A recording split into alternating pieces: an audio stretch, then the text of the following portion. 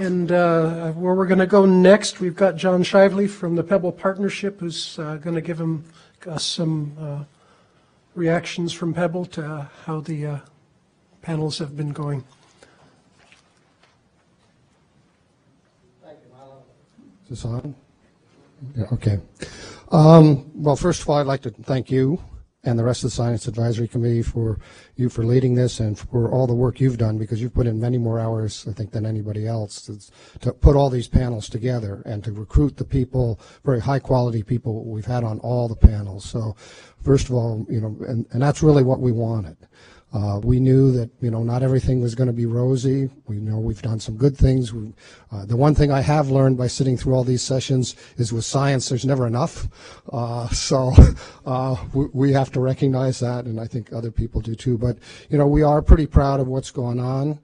Uh, but before I get that, I'd really like to thank the panelists.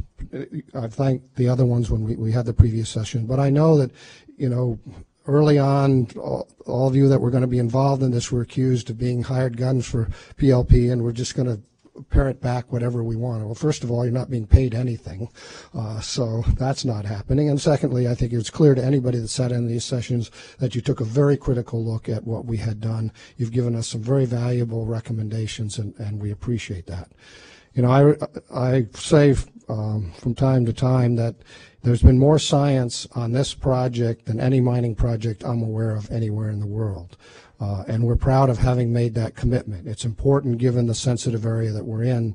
Uh, and we know that we're not done. And of course, as it's also been pointed out here, we've looked at the first five years. We have four more to go on top of it. You keep uh, you, several of you said we should make the document smaller. I don't know how we do that with a lot more information, but uh, I I understand what you're saying about you know having something that people can actually deal with.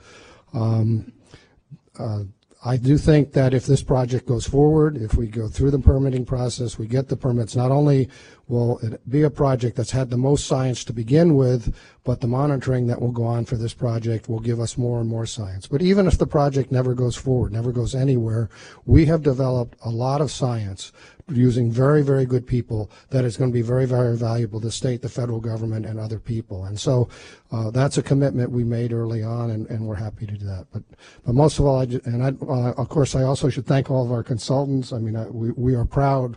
We sort of handpicked people that we thought would do an excellent job. We we have a whole variety of different consulting firms and individual consultants working for us because we wanted to go out and get the best, and I think they've done a really good job. So again, thank you all very much. I think this has been very valuable for us, and we really do appreciate the time and effort you put in to do this.